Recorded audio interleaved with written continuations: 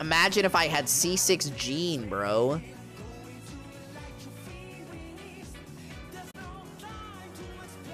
Imagine, bro.